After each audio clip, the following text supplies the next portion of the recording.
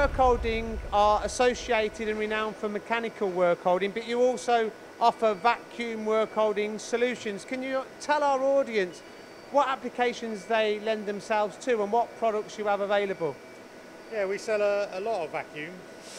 On the machine behind me, we have a, a vac mat system, which is a, a vacuum fixture, modular, so you can make it bigger. It has a vac mat onto it, which you can machine into, so you can cut parts out.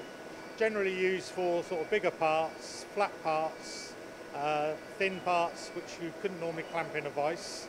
We also do a grid fixture, which is basically an aluminium fixture full of a grid pattern. You fill the pattern with a uh, seal to suit your part. So again, this is very versatile. You can do smaller or larger parts. Uh, you just vary the seal to suit. We also do a, a Metapor fixture, which is for doing things like foils and very thin parts.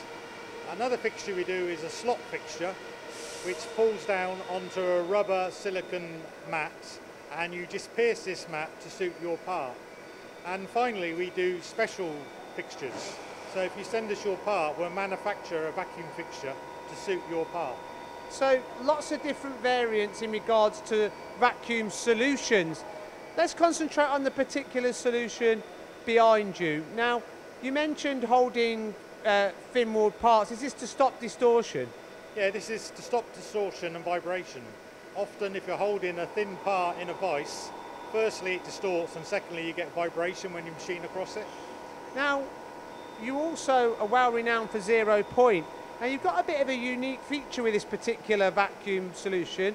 Yeah, so we've actually put studs into our vacuum fixture.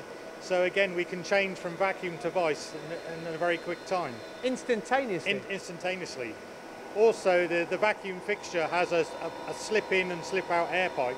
So there's nothing nothing to undo there either. Can you tell me about the mechanism in, in which you get the air to the vacuum?